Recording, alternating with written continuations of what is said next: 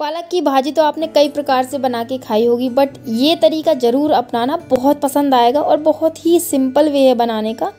आपको सबसे पहले पालक को अच्छा सा धुल लेना है, कढ़ाई में दो चम्मच ऑयल डालना अच्छा सा गर्म करना, हींग एक चम्मच जीरा, आधा चम्मच सौंफ का लगाना तड़का, अदरक डालना, लाल मिर्च और लहसुन, और बारीक कटा हुआ प्याज डाल के हल्का सुनहरा होने तक बढ़िया सा आपको भून लेना है इस तरीके से, जब तक कलर चेंज ना हो जाए।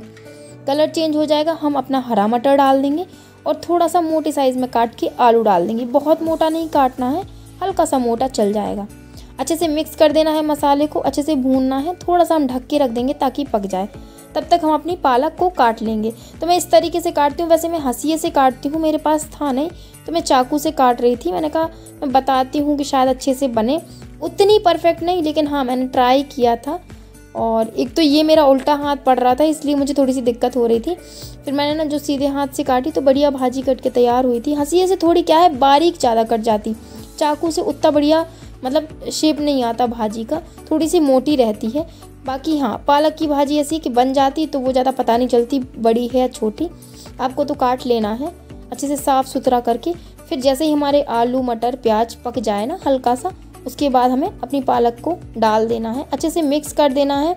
यहाँ पर हाई फ्लेम कर लेना है। गैस का स्टार्टिंग में थोड़ा सा स्लो मतलब मीडियम और स्लो पर सीखना यहाँ हाई फ्लेम कर देना, क्योंकि पानी रहता है तो थोड़ा सा सोखता है। हरा धनिया यहीं पर डालना है। एक बारीक साइज़ का टमाटर काट के डाल देना।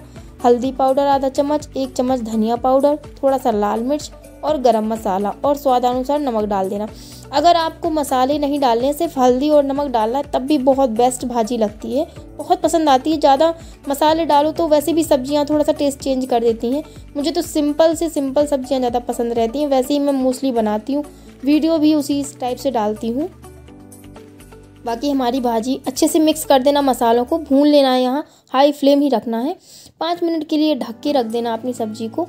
और बस, फिर हमारी भाजी बढ़िया सी बन के तैयार हो जाएगी। बहुत टेस्टी बनी थी, चावल के साथ खाना पूड़ी के साथ खाना, रोटी के साथ खाना, बहुत पसंद आएगी। बाकी वीडियो अच्छा लगे तो लाइक, शेयर, सब्सक्राइब ज़रूर करना, कमेंट करके भी मुझे बताना कि कैसी बनी।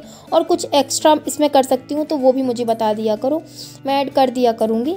बाकी थैंक यू सो मच इतना सपोर्ट करने के लिए, मेरे चौबीस हज़ार सब्सक्राइबर हो गए हैं, उसका बहुत बहुत धन्यवाद सभी को। बाकी thank you so much everyone